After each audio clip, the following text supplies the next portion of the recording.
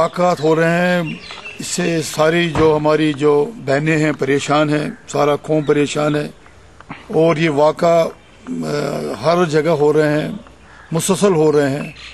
اور اس کی ہم پرزور مذمت کرتے ہیں۔ لیکن گورنمنٹ کہاں ہے؟ گورنمنٹ سوئی ہوئی ہے۔ اگر کسی جگہ جو ڈپارٹمنٹ ہے، پولیس ڈپارٹمنٹ ہے، سی آئی ڈی ڈپارٹمنٹ ہے، اتنی ایجنسیاں ہیں۔ اور دن داڑے بچیوں کو بھال کاٹنے کے جو واقعات آ جاتے ہیں، یہ تو ایک یہ اس میں وہ خاموش بیٹھے ہیں، کوئی کاروائی نہیں کرتے ہیں۔ آج آج کیمرہ لگے ہوئے ہیں، آج ہر جگہ فورسز ہیں اور گاڑیوں میں چلے جاتے ہیں۔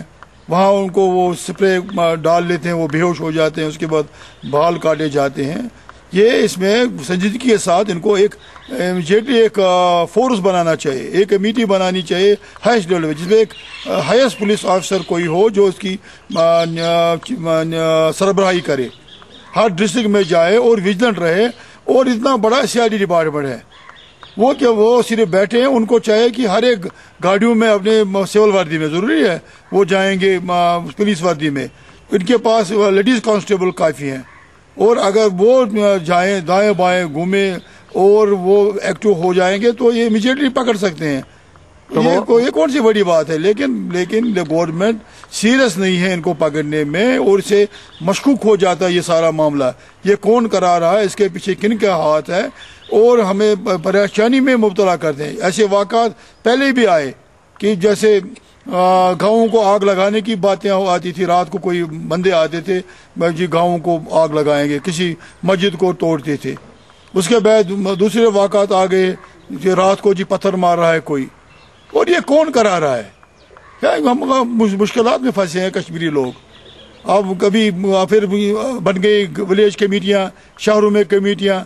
انہوں نے پھر وہ رات کو وہ لگا رہے تھے، وہاں پہ دیکھ رہے تھے کون آئے گا محلے میں۔ کون آگ لگا رہا تھا؟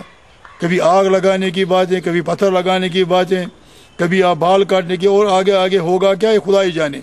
اس لیے میں اپیل کرتا ہوں اس میں سرکار کو کہ وہ اپنے جو ایجنسیاں ہیں، جو ان کے پاس ڈفرینٹ ایجنسیاں ہیں، بہت ساری ایجنسیاں ہیں، ان کے لوگ کافی ہیں اور اگر کم ہیں تو پولیس ڈپارٹمنٹ کے کوئی ہزار آدمیوں کو اس میں ڈالیں سول وردی میں، ہر ڈسٹرکٹ میں۔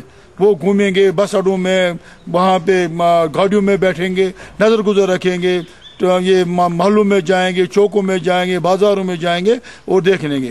یہ تو ایک بات ہے۔ دوسری بات ہے، تو اور مصیبت میں ہمیں چار خاص کے لوگ ہیں۔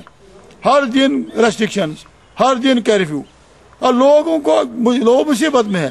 اب مجھے بتائے جو بیچارہ جس کے پاس کھانے کے کچھ نہیں ہے، وہ صبح جاتا ہے، ریڈی چلاتا ہے، مزدوری کرتا ہے، وہ کوئی کام کرتا ہے تو وہ کہاں جائے گا ریسٹرکشن کتنے اب تین سال گورنمنٹ کے ہو گئے، ہونے والے ہیں۔